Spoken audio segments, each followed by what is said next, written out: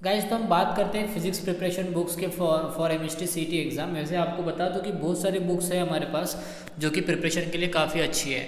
तो कुछ कलीग्स ने मुझे गाइडलाइन किया है कि कौन सी बुक्स इसमें सबसे बेस्ट रहेगी तो उस बुक्स के बारे में आपको मैं आज नॉलेज देता हूँ।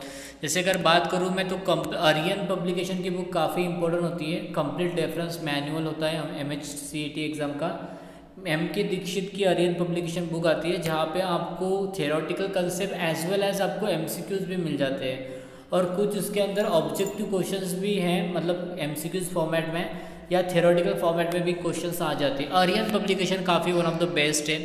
जैसे कि आप लोगों को मैंने केमिस्ट्री के लिए बताया, वैसे ही आपके ए बी सी पब्लिकेशन हमारे थर्ड नंबर पे दिख रहा है आपको M S T C T A B C publication की बुक वो भी आप रेफ़र कर सकते हो।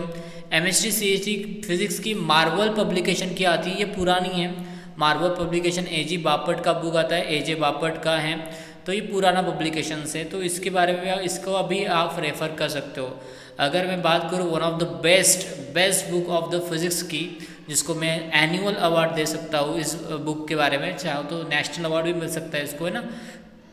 कंसेप्ट ऑफ़ फिजिक्स है ओके तो very important volume one S C Verma and volume two also by the S C Verma one of the best book for the physics preparation आप चाहो तो आपके टीचर्स या आपके कोई भी सीनियर्स जो होंगे, उन लोगों को आप पूछ लो।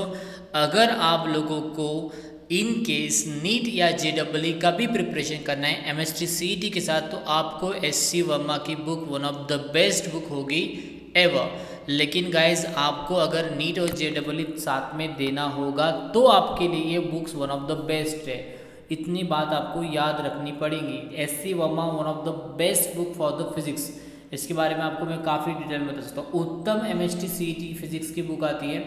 ओके ऑथर का नाम नहीं लिखा गया यहाँ पे। इस मिसमैच हो गया यहाँ पे। ऑथर का नाम नहीं लिखा गया है। तो ये जो बुक है, ये काफ़ी पुरानी है उत्तम पब्लिकेशन की, लेकिन अगर आपको लेना है उत्तम एम एच फिजिक्स के बारे बुक तो आप लेटेस्ट एडिशन की बुक ले सकते हो, जो कि मे एट को आई है 2020 में ओके तो आप लेटेस्ट बुक है वो वो आपको रेफ़र करना बेटर रहेगा।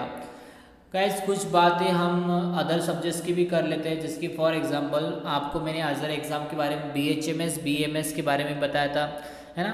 बी एच एम एस हो गया बी एम एस हो गया अदर मेडिकल फ़ील्ड जो होती है, उनके लिए सी ई टी कोई एप्लीकेबल नहीं है गाइज़ ओके मैंने आपको पहले स्टार्टिंग में बता दिया था कि सी ई टी मोस्टली आपको फार्मेसी एंड इंजीनियरिंग एग्ज़ाम के लिए एप्लीकेबल होती है। तो इंजीनियरिंग एग्ज़ाम अगर आपको देनी है, वो भी स्टेट लेवल के कॉलेज के लेवल पे तो आप M H T C E T दो। अगर आपको फार्मेसी यूज़ फार्मेसी करना है तो आप M H T C E T दो।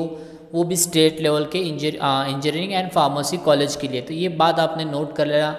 अब दिमाग में आपके क्वेश्चन आ रहा होगा कि सर फिर बीएमएस और बीएचएमएस के लिए क्या है?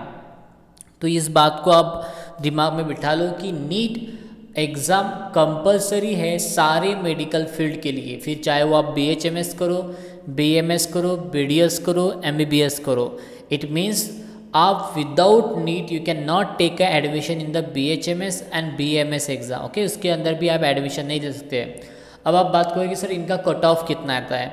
गाइज़ जनरली अगर government B H M S और बी एम एस कॉलेज का मैं अगर कट ऑफ़ नियरली देखूँ ट्वेंटी ट्वेंटी के एग्ज़ाम के हिसाब से तो ये कुछ ज़्यादा, ये बहुत कम है compare to B D S and B M B B S के okay M B B S से तो बहुत नीचे है। हाफ़ एंड पकड़ लो आप एम बी बी एस का सीधा सीधा अगर पकड़ना है हमको तो जैसे ओपन कैटेगरी को हम 600 प्लस पकड़ते हैं एमबीबीएस के लिए एंड वहाँ नियरली 500 पकड़ते हैं हम 450 प्लस पकड़ते हैं बीडीएस के लिए। तो आपको B H M S B M S का स्कोर आ जाता है 300 प्लस जनरल कैटेगरी के लिए। जनरली नीट का जो क्वालिफाइड होते हैं नीट एग्ज़ाम वो काफ़ी कम स्कोरिंग पे क्वालिफाई होते हैं। गाइज़ मैं क्वालिफाई होने की बात कर रहा हूँ। Qualify for the medical exam medical admissions medical में एडमिशन लेने के लिए लास्ट ईयर का जो पर्टिकुलरली 720 में से स्कोरिंग था, वो सिर्फ़ 128 था गाइज़ मतलब जिनको 128 प्लस मार्क्स थे, वो सभी के सभी मेडिकल एडमिशन के लिए क्वालिफाई हो गए थे। वो बात अलग होती है कि आपको बीडीएस का स्कोरिंग कट ऑफ़ अलग है एम का स्कोरिंग कट ऑफ़ अलग है।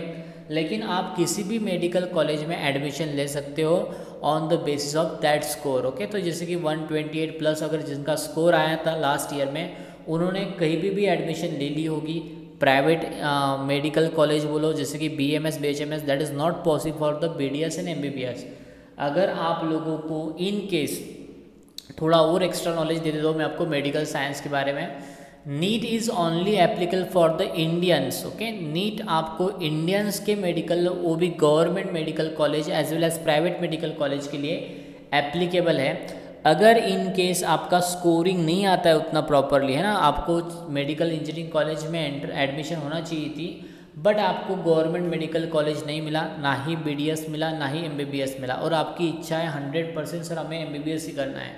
अगर आपकी कोई ऐसी इच्छा है तो आप abroad universities abroad medical college में भी आप एमबीबीएस कर सकते हो, लेकिन इसमें काफ़ी पैसा खर्च हो जाता है और ये मैं ज़्यादा प्रेफर नहीं करूँगा आप लोगों को ओके तो क्योंकि इसमें काफ़ी रिक्स भी हो जाती है। जनरली रिक्स मतलब बहुत, ऐसा नहीं है कि रिक्स बहुत मतलब ज़्यादा कुछ सिक्योरिटी रीजन रीज़न की रिक्स होगी, वैसा कुछ नहीं होता। बट मेरे हिसाब से इंडिया का मेडिकल जो नॉलेज है मेडिकल एजुकेशन जो है, वो काफ़ी इधर अलग तरीके से होता है। मतलब ऐसा मान लो कि इंडिया का one of the best medical knowledge होता है compare to other abroad countries से। है ना? तो जनरली रशिया के मेडिकल इंस्टीट्यूट के हमारे पास काफ़ी एग्ज़ाम्स आती है। उन लोगों के भी एडमिशन हो जाते हैं। बहुत से स्टूडेंट यहाँ से एडमिशन ले लेते हैं अब्रॉड में एमबीबीएस करने के लिए। मेरी भी जान पहचान में काफ़ी स्टूडेंट ऐसे हैं कि जिन्होंने एब्रॉड में एडमिशन ले चुके हैं एमबीबीएस के लिए। लेकिन गाइज़ ये इतना कुछ खास नहीं है तो इसलिए मैं आपको ज़्यादा रेफ़र नहीं करूँगा। चलो तो इस लेक्चर को मैं डेडिकेट करता हूँ अपने प्यारे से स्टूडेंट के लिए।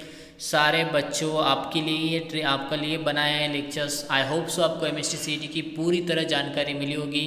So thank you for watching guys and please यार सब्सक्राइब कर दीजिए चैनल को। अगर नहीं सब्सक्राइब किया होगा तो लाइक्स कर दीजिए, इसको और सब्सक्राइब इसको साथ में शेयर भी कर दीजिए। अब जिन स्टूडेंट को एम एस का नॉलेज ही नहीं है मतलब क्या एग्ज़ाम होती है, क्या नहीं होता है, किसी को पता ही नहीं है, बहुत से स्टूडेंट को पता नहीं होता, कोई बड़ी बात नहीं है तो उनको ये शेयर कर दो वीडियो काफ़ी अच्छी तरह से उनका भी नॉलेज इंक्रीमेंट हो जाएगा। So have a nice day guys आप जब भी लेक्चर देख रहे हो good morning good afternoon good evening and good night everyone मिलते हैं हम नेक्स्ट लेक्चर में। नेक्स्ट लेक्चर आपका नीट और जेई के बारे में इन्फॉर्मेशन के बारे में होगा। तो एम की जो ऑल इन्फॉर्मेशन है वो यहाँ पे हमारी ख़त्म होती है। तो आई होप सो आपको पूरी तरह ये समझ में आ गया होगा।